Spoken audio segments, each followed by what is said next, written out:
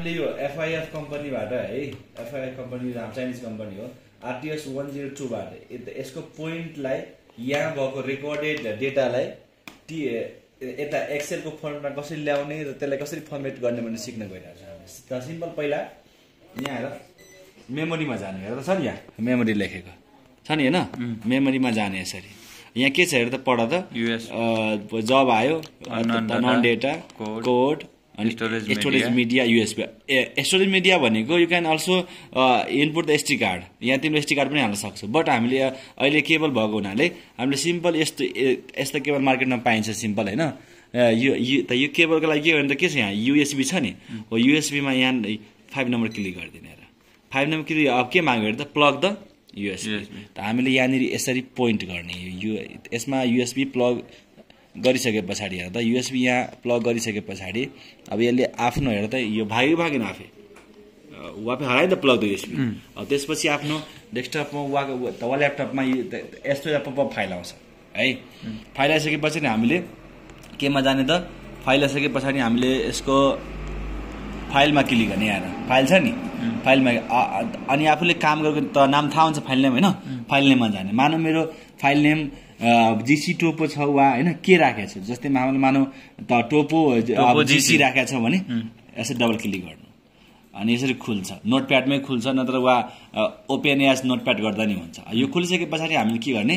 यहाँ फाइलमा जाने र फाइल छ नि? फाइलमा जानु। फाइल गरिसकेपछि यहाँ केमा जाने र सेभ एज छ नि? सेभ एज सेभ एजमा जानु। अनि उसले अब एउटा फोल्डर नेम दिने हामीले। कहाँ राख्ने? होइन? उसको लागि फोल्डर नेम दिने सपोज द्याट मलाई अहिलेको लागि मैले एउटा म्युजिकमा राखिदिएँ होइन काम उसको लागि। वा मैले डेस्कटपमा गएर हाम्रो सर्वे क्याम्प छ नि वा रोड सर्वे वा त वा सर्वे क्याम्पमा गएर मैले यसरी हालिदिएँ। अनि मैले टोपो सर्वे छ नि टोपोमा गएँ। अनि यहाँ जिसी अनि यहाँ के भनेको छ त सेभ एज टाइप कुन टाइपको फाइल लिने? हामीले यसमा क्लिक गर्ने यहाँ अल अल फाइल्समा क्लिक गर्ने। अनि यसको अब हामीले सिएसबी एक्सटेन्सन हालिदियो हेर त डट सिएसबी अनि अलरेडी कुनै फाइल छ भने यसले चाहिँ रिप्लेस गरिदिन्छ। सेभ। अनि यसले के भन्यो? रिप्लेस इट भन्यो नि।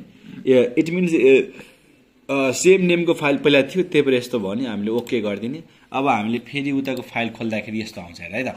अब हामीले फेरि यस्तो फाइल आयो भने सर्वे क्याम्प टोपो सर्वे अनि रोड टोपो जिसी हेर त। यो हाम्रो आजको अस्- अस्ति काम गरेको फाइल आयो क्या नि यहाँनिर यस्तो अब अब नम्बर अफ फाइल हेरेर हामी कतिवटा नम्बर पो- पोइन्ट पुग्यो लगभग लगभग बाह्र सय एकहत्तर हेर त। बाह्र सय एकहत्तर अब टक्क यसलाई के गर्ने? अब यसलाई फर्मेटिङमा हालिदिने। फर्मेटिङ कस्तो हुन्छ सुरुमा? पहिला के हुन्छ बाबु? एक्स के हुन्छ त्यसपछि? वाइ वाइ त्यसपछि के हुन्छ? जेड जेड त्यसपछि के हुन्छ? रिमार्क्स रिमार्क्स रिमार्क्स हुन्छ नि? रिमार्क्स अब रिमार्क्समा यो अलिकति पोइन्टहरू कहिले काहीँ बिग्रिन सक्छ हाम्रो आइपी छ नि त यो आइपी हुँदैन नि त हाम्रो। यो यो आइपी त थिएन हाम्रो हामी हाम्रो के हुन्छ त त्यहाँ स्टेसन कोर्डिनेट हुन्छ नि त पहिला। त यो हाम्रो यो पहिला पहिला यो काम गरेको फाइलमा यस्तो यस्तो आउन सक्छ। यसलाई हामी डिलिट गर्ने। अब हामीले कोड बाहेक यो हाइट पनि हटाइदिने हामीले टक्क है। अनि यो पनि हटाइदिने अहिलेको लागि। अनि यहाँ राख्ने एसएन। बट नियम के छ त अब यो सुरुमा एक्स हुनु पऱ्यो त्यसपछि के हुनु पऱ्यो वाइ हुनु पऱ्यो त त्यसपछि जेड अब यहाँ हाम्रो एक्स यहाँ छ वाइ यहाँ छ के गर्ने यसलाई कन्ट्रोल एक्स गर्ने यहाँ गएर कन्ट्रोल अनि प्लस गरिदिने हेर त अब हेर त यो के आयो एक्स वाइ जेड अनि एक्स कसरी थाहा पाउने यदि हामीले युटिएममा काम गराएको छ भने तिम्रो सिक्स डिजिटको हुन्छ एक्स। अनि वाइ हुन्छ तिम्रो सेभेन डिजिट बाँकी त जेड त ज- त्यो डिजिट भएर अब केही पनि फरक परेन अनि यहाँ नेमिङ गर्नलाई वान टू अनि यसरी गरेपछि फेरि फेरि तिमीले यहाँ डबल क्लिक गर्ने। अब हेर त यो फाइल हाम्रो अब यो बाहिर गइरहेछ भने बाहिरको फाइल हामीले के गर्ने? यहाँ डिलिट गर्ने।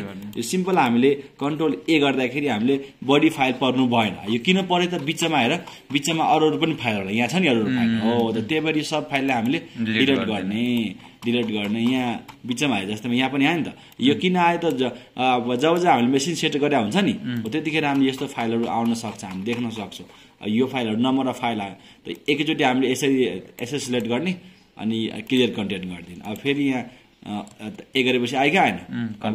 डेटामा जाने फिल्टर गर्ने अब कुनै एउटा अटो क्याड खोल्ने होइन? अटो क्याड हामीले इन्स्टल गरेको फाइल हुन्छ अटो क्याड यहाँ हाम्रो अटो क्याड खोल्ने। अब अटो क्याड खोलिसके पछाडि यसको एसडब्लु डिटिएम खोल्ने र एसडब्लु त डिटिएम छ कि छैन यसमा? छ। एसडब्लु त डिटिएम खोल्ने।